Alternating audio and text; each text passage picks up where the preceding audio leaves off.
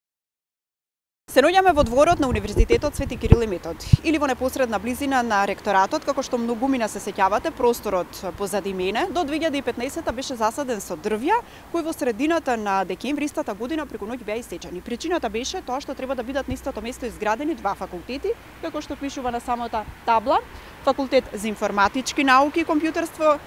i kompjutersko inženirstvo pri samiot univerzitet i fakultet za fizičko obrazovanje, sport i zdravje. Por shtatë vjet më vonë këto mure betoni ende duken kështu. Punimet janë pezulluar që moti, për tërë projektin ishin paraparë njëzet milionë euro kurse kontraktuesi është kompania Beton Shtip, pronari i së cilës është Orce Kamçev. Por më dy korrik të vitit dy mijë e nëntëmbëdhjetë kjo kompani hyri në falimentim.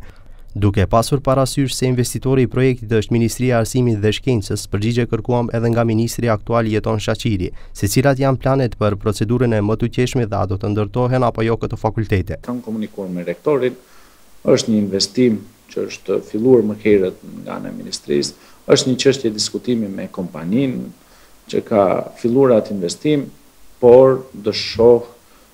duke angazhuar dhe Avokatin e Shtetit për të parë çështjen, në qoftë se ka procedurë ligjore të filluar, deri ku është procedura ligjore për ta zgjedhur edhe çështjen e atij objekteve të cilët janë një objekt i ndërtuar, ndoshta jo për shpejt kohë, ta zgjedhim çështjen sepse në qoftë se ka kontekst ligjor i cili duhet zgjedhur në periudhën e ardhshme kohore. Ministri nuk jep premtim konkret se për sa kohë do të përfundojë ndërtimi i këtyre dy objekteve, pasi siç thotë ndoshta lënda është bllokuar nëpër labirintet gjyqësore, Problemi kryesor është kompania ndërtimore Beton Shtip, si kontraktuese e projektit.